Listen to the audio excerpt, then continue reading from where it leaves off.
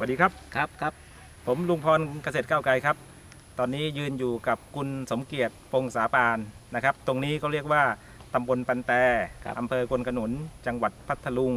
แล้วจุดที่ยืนอยู่นี้ก็คือแปลงปลูกผัก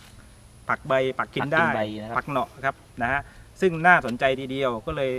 ต้องรีบมาคุยกับคุณสมเกียรตินะครับ เพราะว่าตอนนี้ผักชนิดเนี้ยในท้องถิ่นตอนนี้เริ่มหายากแล้ว ก็เลยต้องมาปลูกกันแบบเนี้ยครับ เพราะว่าที่นี่อ่า เขาเรียกว่าคนปักใต้นิยมกินผักใบ ตรงนี้คุณสมเกียรติได้แรงบันดาลใจยังไงถึงได้มาปลูกผักครับ แปลงคืเนี้อยคือการปลูกผักนะครับตอนนี้ก็คำนึงถึงจากที่ว่ามีประสบการณ์อยู่ใช้ชีวิตอยู่ในเมืองนะครับ ครับก็อย่างอย่างกรณีร้านข้าวแกงร้านขนมจีนครับพวกนี้นะครับอืม ทีนี้ก็เราก็มามาคิดว่าเออเนี่ยผักพวกนี้ก็มันมีมูลค่า ซึ่งซึ่งตามอ่าตามชนบทอาจจะไม่มีมูลค่า แต่ครัว่าบเราก็ต้องมาผลิต ต้องมาปลูกในชนบทแล้วก็นำไปไปไปขายในทำให้มันมันมีราคาในในในในตัวเมืองนะครับครับ ทีนี้นี่ก็ผักที่ว่าเอานำมาปลูกขนาดนี้ก็มันมีเอ่อเล็งไปที่ว่ากินใบได้เอ่อต่อยอดเอามาตอนกิ่งนะครับ ตอนกิ่งได้ขายได้อะไรประมาณนี้นะครับเพื่อเพิ่มรายได้ครับจากอาชีพเอ่อรับราชการ ครับ ทีนี้ก็อยากจะขอใน ฝาก ในในเมืองที่คุณสมเกียรติว่าเนี่ยคือยังไงก็กินผักกับร้านขนมจีนใช่ไหม อ่าร้านขนมจีนร้านข้าวแกงครับ คุณสมเกียรติเห็นว่าตรงนั้นน่ะเขานิยมกินผักกินใบชนิดเอนี้ อเป็นจำนวนมากกันอยู่แล้วเริ่มมีการเขาเรียกหายาก หาไม่ยากได้ปลูกกันเองนะ หายากหายากไม่ได้ปลูกในตัวเมือง อ๋อทีนี้ก็ต้องไปจากชนบทนะครับ ครับ ไปจากชนบทเข้าตัวเมืองอ๋อคุณสมเกีทียรตินี้ก็ก็เลยเอาความคิดตรงนั้นมามามามามามาปลูกผักตรงนี้ตรงนี้เดิมทีเดียวเป็นอะไรเป็นนาเหรอ อ๋อตรงนี้เป็นพื้นพื้นนาแล้วก็ครับมาเป็นสวนยางแล้วก็มาเป็นปลูกผักกินปลูกใบผักกินใบอ่าได้นี่นี่นี่ตอนนี้เข้า ปีที่สองครับปีปีที่ที่สสอองงนะครับอ่าผักทำที่ว่าปีมีสงอะไรบ้างครับที่ปลูกที่เนี่ย ตอนนี้ที่เห็นอยู่ตรงนี้ก็คือตรงนี้มันครับปูนะครับเป็ใบมันปูจุดยืนอยู่มันปู ครับผมแล้วก็ที่สูงสูงกวางโน้นก็จิงชุมพร ลูกจริง จะจิงชุมพรนั่นก็เอ่อมีรสชาติมันนะครับครัมับนไม่ครับ ฝาด อืมแล้วก็สูงตัดไปอีกก็เอ่อเป็นจมวงจมวง อ่าอันนี้ก็กินใบนะครับครับใช้ปรุงอาหาร อืมแล้วก็มีจมูกจจะมอวงม จะอมมะม่วงหิมพานต์มะม่วงหิมพานต์แล้วก็ไอ้มะกอกนะครับครับมะกอกบ้าน อืมแล้วก็กระโดนกระโดนด้วยอืมครับ แต่ละอย่างเนี่ยร้านขนมจีนมีผักมีบทชนิดเลยครันี้บอยู่มีบทแล้วก็คนตามบ้านเรือนก็นิยมกินผักชนิดเนี้ยอ่าเพราะว่าปักใต้คือแกงเผ็ดอ่าปากใต้นี่คือทุกคนต้องรู้จักปักผักพื้นฐานพวกนี้ตัวเนี้ยอ๋ออ่าผักตัวนี้เขาเรียกว่าเป็นมีคุณประโยชน์ต่อร่างกายด้วยนะครับ มีงานวิจัยอย่างเช่นมันปูเอเนี่ยองานวิจัยมีเยอะตัวนี้มีเยอะ มันปูมะม่วงหิมพานต์ก็บอกว่าเป็นมีสารต้านมะเร็ง เยอะอันนี้แต่ผมก็ไม่ได้ศึกษานะเพียงเพียงแต่ว่าอันเออเปิดดูผิวเผินอืมนะครับดูผิวเผิน ครับผม อันนี้คือตัดสินใจคือครับตัดสินใจด้วยตัวเองว่าเออหันหน้าเข้ามาปลูกผักตรงนี้เพื่ออมเพื่อที่จะต่อยอด แล้วก็ตอนครับกิ่งขายอะไรประมาณนี้แล้แต่วว่าวันนี้เราไม่มีเวลาไม่มีเวลามีเวลามาที่เฉจะพาะไปเสาร์ทำอาทิตย์งครับเกษตรกรวันหยุดครับ แล้วแล้วคุณสมเกียรติครับปลูกผักพวกเนี้ยปลูกยากไหมพูดถึงไม่ยากครับไม่ยากครับ มอันนี้ไม่ยากต้องใช้วิธีส่วนใหญ่คือตอนกิ่งมาเหรอครับ เอ่อตอนนั้นซื้อกิ่งตอนมาครับ ซื้อกิ่งตอนมากิ่งละประมาณ 20 25 20 25ซื้อมา อ่าซื้อแล้วก็มาวางแปลงปลูก อ่าแล้วก็มาขุดร่องปลูก มีระบบน้ำ มีระบบน้ำน้ำแล้วก็น้ำนี่ก็สูบมาจากลำคลองลำคลอง ห่างจากนี่ก็ไปประมาณ 200 เมตรมาพักไว้ อ่ามาพักไว้ใน ในร่องน้ำในก็ร่องน้ำเมื่อกี้มีเลี้ยงปลาด้วย ครับ ปลาดุกปลาทับครับทิมด้วยเผื่อว่าพักพวกมาอ๋อวันหยุดมีบ้านพักคือด้วยคือมองไว้เออใช่ใช่ใช่มีมีห้องน้ำอะไรมีอืมบ้านพักสามสี่ห้องแล้วก็เออคิดว่านะครับ อนาคตเนี่ยจะจะจะปลูกอีกจะจะหาเก็บเก็บตังค์ก่อนอืมอ่าเก็บตังค์ก่อนครับแล้วก็กล่าวว่าสมัครพักพวกมาก็ได้มาเที่ยวรับได้ได้นอนกัน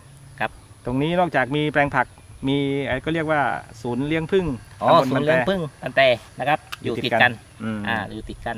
ก็มาเยี่ยมชมมาเยี่ยมชมคนตรงนี้ก็ได้สองไปมามาจุดนี้จุดเดียวก็ได้ได้ได้หลายอย่างสองได้งานหลายอย่างอ่าครับผมอะได้ประสบการณ์ไปเอาละครับนี่ครับคือแปลงปลูกผักนะครับ ดูสวยงามมากทีเดียวนะครับ คุณสมเกียรติท้ายนี้คุณสมเกียรติมีอะไรก็คิดสำหรับคนที่ทำงานประจำอยู่ไหมว่าต้องต่อสู้ชีวิตอ๋อต้องมีความคิดก็คิด เปลี่ยนแปลงอาชีพอะไรยังไง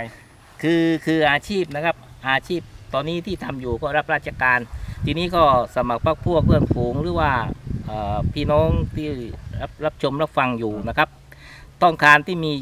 ต้องการมีอาชีพเสริมรายได้เสริม ก็ลองลองลงมาที่สัมผัสกับชีวิตชนบทนะครับ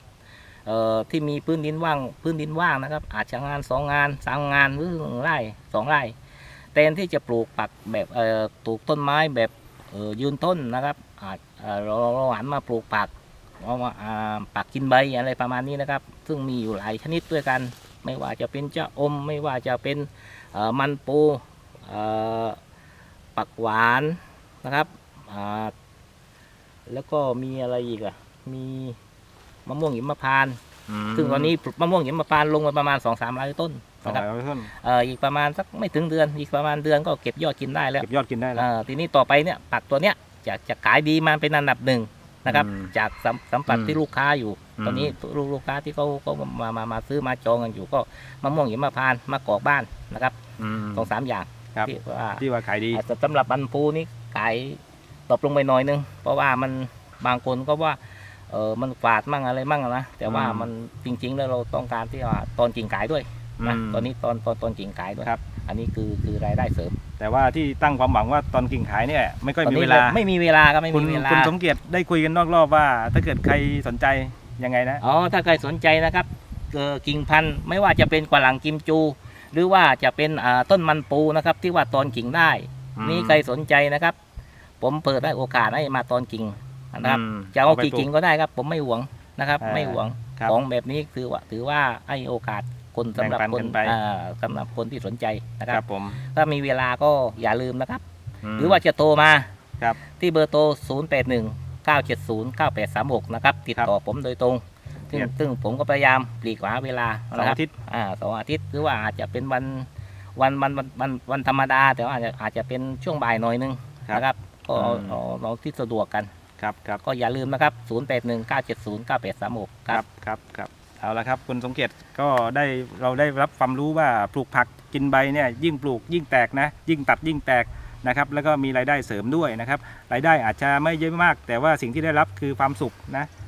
จากการที่ได้พูดคุยกับสมเกียรติคือความสุขอย่างหนึ่งนะครับ ตอนนี้แล้วที่ว่าเปิดโอกาสให้คุณผู้ชมได้มาตอนกิ่งเนี่ยผมสังเกตดูแต่ละต้นเนี่ย มีตอนอยู่นะ แต่คุณสมเกียรติบอกว่าไม่มีเวลาไม่มามีตัดก็เลยคือเปิดโอกาสให้คุณผู้ชมต้องได้หามาหเลน้ายดินมาลงถุงนะครับทีนี้พอช่วงนั้นมันช่วงฝนตกพอดีฝนตกอืมครับ มาตอนกิ่งได้เลยครับเอาเลยครับ วันนี้ต้องขอบคุณคุณสมเกียรติมาก แล้วก็ขอบคุณคุณผู้ชมด้วยครับ อย่าลืมแวะมาได้เลยนะครับสวัสดีครับ สวัสดีครับสวัสดีครับ